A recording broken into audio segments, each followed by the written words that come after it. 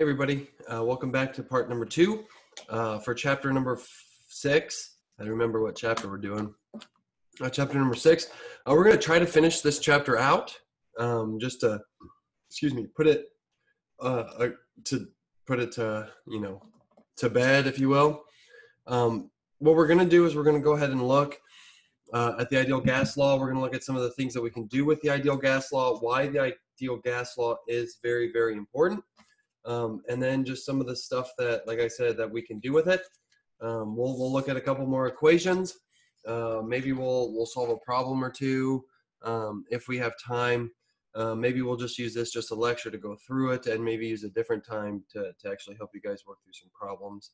Um, and so, so we we ended up with looking at the different uh, simple gas laws and how we can derive those together to make an ideal gas law. Now, what we have to be aware of, and what's very important, is the units that we are required to use for the ideal gas law. So the pressure has to be in atmospheres. It can't be in torrs, can't be in pascals. It has to be in atmospheres. The volume has to be in liters. Can't be in milliliters. Can't be in you know any of those other ones. It has to be in liters. The moles, obviously, moles can't be anything else.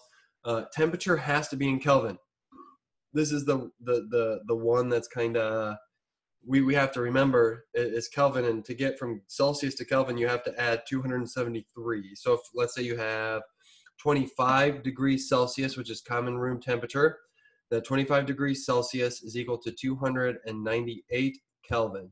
That is one that you will probably just keep in mind. Um, just just keep in mind since a lot of things are done at 25 degrees Celsius. Um, now, the question is, and the question might be, well, what if, right? What if I forget, right? What if I forget what units these have, uh, these these things have to be in? Um, and I am glad that you guys are asking me that, um, right? Because it is just a lot of memorization. Um, and so here is our ideal gas law again, the same thing that we just saw on the slide before, um, the, the same way that we derived it. And I'm going to, whoops, excuse me, I am going to give you guys a tip and a little bit of a hint on how we can know what units that we need. And the units, and, and the tip is, let's go and get rid of all this. We'll do a different color. So we've done all black this time. So the different tip, the tip is looking at this. Right? So we talked about pressure, volume, moles, temperature. We didn't really talk about R much. R is that constant that we need. R is called the gas constant. What this gas constant is equal to, and again, you'll be given this constant on an exam, is 0.08206, right? But there are units to this gas constant, and we have to remember the units for this for this equation, otherwise it's not going to work. So then what if I forget which one? Look to the constant. Liters atmospheres, moles, Kelvin, right? So it's liters times atmospheres divided by moles times Kelvin, right? And so uh, if we ever forget what units we need for this equation, we just need to look for the constant. And this is, again, we, we talk about themes, we talk about patterns in this class. Here is a pattern. A pattern is always look to the constant when you're given one to find out what units uh, that you need. And so what I want you guys to do is I want you guys to try to solve this equation, just as a practice equation. If you have questions, please come and, and talk to me. But you have a 3.24 liter basketball. Right? And you inflate it to a pressure that's 24.3 psi. The outside temperature is 25 degrees Celsius. And I want you to tell me how many moles, how much gas is needed to inflate a basketball this size to this pressure at this temperature. Okay, I want you guys to walk through filling things out the way they need to be filled out and the units they're filled out. And then I want you to try to use this equation to solve for what we need to solve for. All right, so now Let's think about densities. right? Let's think about density. And densities of a gas. So I do have a question for you. We fill up a balloon with helium and it floats. We flew up, we fill up a balloon with our own, own air and it doesn't. Why not? So, why it doesn't, oops, let's look at, or actually, let, let, let's take a step back, right? So, we're going to have to calculate density. How do we do that with this ideal gas law, right? Because I said we can use this. This this is powerful. This ideal gas law. Well, how in the world would we go about using or calculating density using this ideal gas law? Well, let's go ahead and solve for moles. Or actually, it doesn't really matter solving for volume. Let's go ahead and solve for volume first. All right, so what I'm going to do is I'm going to rewrite our ideal gas law up here. So we have PV equals NRT. Let's solve for volume. So we're going to solve for volume, or sorry, let's solve for pressure. So we're going to divide both sides by volume. Pressure is equal to nRT over V. Now let's solve for n over v, right? So, so what we're trying to get on both on, on one side is, oops, sorry, not multiply, divide, is we're going to try to get n over v. That's what we're trying to solve for. So whether you divide by volume and then divide by RT or you divide by RT and divide by volume, it, it, it's the same thing. The RT cancels over here. And what you're left with is P over RT is equal to n over v. Now let's think about this for a second. n over v, this unit here, or this, this little thing here, right? What are the units? We have moles, and the vol and, and the volume in the ideal gas law was liter. So we have moles per liter. Moles per liter is known as molar density right? Molar density. What's just density though, right? Do you remember density? I mean, we have to go all the way back to there. Yeah, density is equal to mass divided by a volume. That's volume. And just reaching really far, right? So mass divided by volume. Right now we have moles divided by volume, which is molar density. But how do you think we will convert this into this? What if we did this? What if we multiply this by grams per mole or moles? Right? This is the molecular weight. Well, if we multiply this side by the molecular weight, I'm just going to go ahead and multiply this side by the molecular weight. And what happens? The moles will cancel, and we're left with grams per liter. What's that also known as? Density. So we know the density of a gas is equal to the partial pressure, or the pressure of the gas, times the molecular weight, divided by R, which is the gas constant, T right? And so what we see is we can calculate density of a gas using our ideal gas law. But why, why do we care, right? Why do we care, right? And so what we can do is we can take, it, it, and the question is, and the question that I posed before we went through this is why does a balloon float? right? Why does a balloon float? And so what we can do, oh yeah, uh, is if we look at uh, molar volume, so moles per liter, right? That's molar density. Molar volume is equal to liters per mole. And if we were to take, and I'll, and I'll show you guys this. If you have one mole of gas, it doesn't matter any gas, one mole of gas is going to be equal to 22.4 liters per mole. You just have to trust me on this. So then how in the world can we use that to help us calculate why balloons float? Well, we know the density of a gas, let's say helium, is equal to the molar mass of helium, which was four, or which is four grams per mole, divided by the 22.4 liters per mole.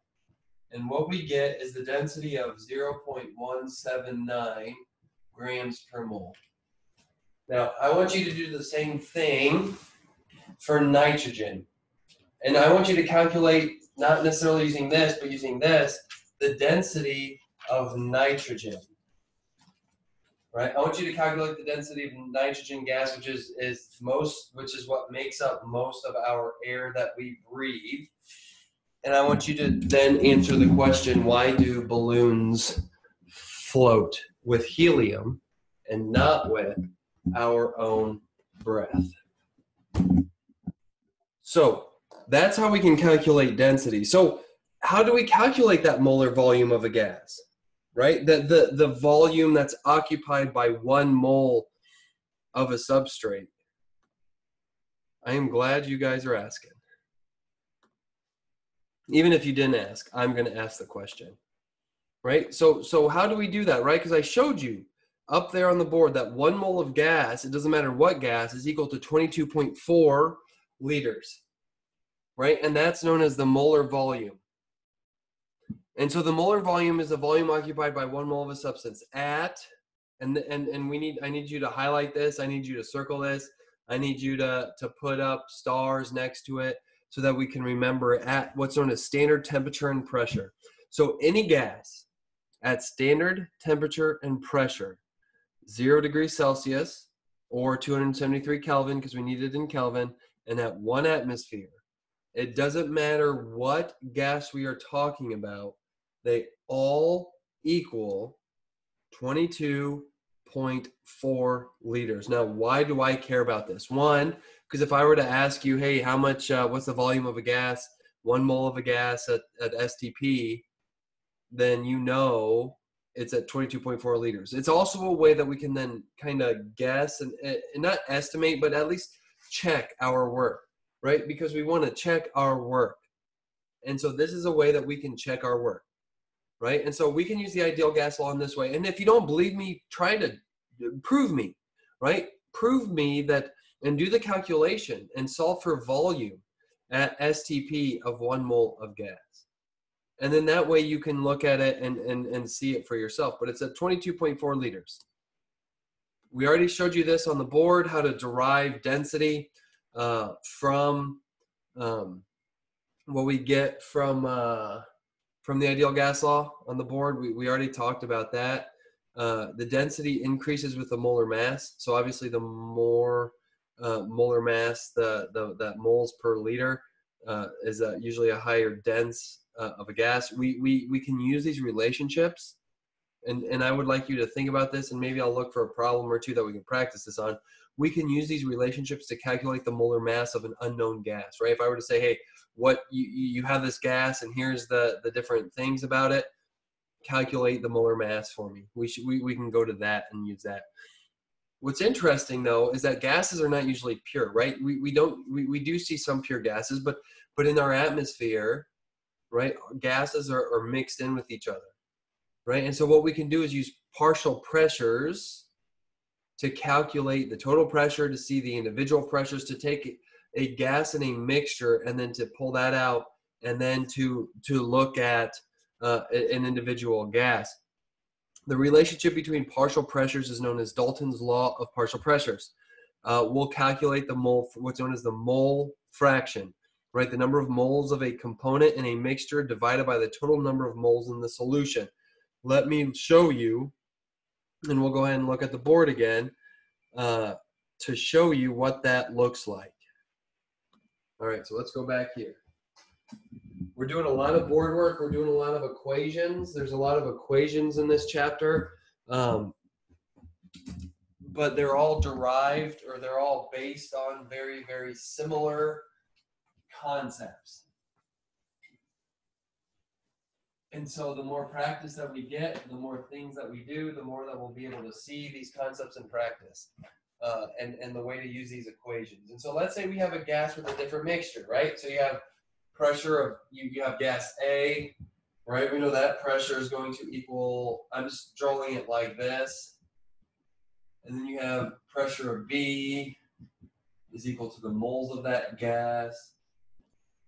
RT over B, right? And we can we can go on for as many gases as we have. Well, we know that the total pressure is going to equal the pressure of A plus the pressure of B, so on and so forth, right? Well, then what we can do is that the total pressure, right, and we can just substitute these in here, is equal to the NA RT over V plus N B RT over D. Well, we know, right, that the gases are at the same temperature, volume, the gas constant doesn't change. And so we know that the P total, let's get a different marker. There we go. That the P total then is going to be NA plus NB dot dot dot, however many we have, times RT over V, right? Because those are the same for all of these gases. Now, we we talked about mole fractions. We, we talked about this, right? We're looking at the total things. Um, and so we know then that P total is equal to, let's just say this is N total times, you know, RT over V. Now, what if we're just looking for one of the gases, right? Let's say we're looking for this gas right here. We're looking for the, the pressure of gas A in this mixture. Well, what we can do is we can then take, I'm just going to go ahead and let you guys take a second to write this. What we can then do, if we're looking for A, is we can just divide by pressure total right? Because that's going to equal N total RT over V, right? And so we know that these are going to cancel because these are the same. And what we're going to get is the pressure of A divided by the pressure total is going to equal the moles of A divided by the total number of moles in the total mixture of gases. What's interesting is this, we're going to put an X for A X just means it's a mole fraction, right? Because you have the, the individual, divide the number of moles of the individual divided by the number of moles of the total mixture is known as the mole fraction. And that's XA. So let's solve, because we want to solve for the pressure. So we multiply both sides by the total pressure, and we get individual pressure is equal to the mole fraction times the total pressure.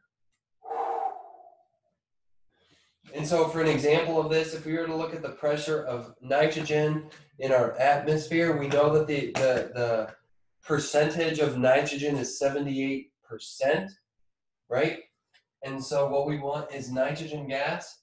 So instead of A, we'll put N2. We know that the, the mole fraction, the, the, the percentage of nitrogen in our atmosphere is 78%. And we're going to assume we're at sea level, so it's at one atmosphere. So the partial pressure of nitrogen in our atmosphere is 0.78 atms, right? And that's what, and that's one of the things, one of the ways that we can solve for uh, this um, using partial pressures, right? If we know the mole fraction, if we know the mole fraction then we can use it and the total pressure to solve for an individual gas's pressure out of a mixture. And so, um, so let's go ahead and we'll look up one uh, interesting thing about this. And then what we'll do is then we'll stop with part two and quickly go through part three, which talks about how fast gases move and, and their relationship with each other um, and, and real gases. And so vapor pressure can be used to help determine the amount of gas produced in a reaction. So measuring gases in the reaction is actually kind of difficult and how much gas is mixed off is, is given off. And so what we can do is, is vapor pressure, right? To where the total pressure right? So let's say we're doing zinc and hydrochloric acid. We, we did this in lab, right? And, and H2 gas is given off, but we want to know how much. And so what we do is we collect the gas over water using this contraption, right? The gas will go up here. Well, water naturally vaporizes depending on the temperature, and it's temperature dependent. And so here's the pressures for different temperatures with water vaporizes, right? And so what we would need to do is is is and then we can measure this pressure. Uh, I'm using a pointer, and I don't know if you guys can see it. Um, but the pressure that's above the water where our gas and water are mixing, we can measure that. And so if we measure that, we have to realize that our gas is part of water vapor. And so all we would have to do is subtract using this table the pressure of the water from the total pressure, and that will be our pressure uh, of our uh, unknown. And so um, and so if if I were to ask you guys to solve a problem like this, I would give you the table, or at least I would give you what the pressure would be. Um, but again, we can use partial pressures to determine a specific pressure pressure of a gas out of a mixture. One last thing, what else can we do with gases? Uh, we can do stoichiometry on it, right? Because we need moles, and we can do the mole conversion to another mole and figure out. We can do that with a gas. If we know the pressure, volume, and temperature of a gas, we can then calculate moles. And so this will end part two. Uh, we're going to go ahead and then we'll talk about how gases move and the way gases behave uh, on part number three.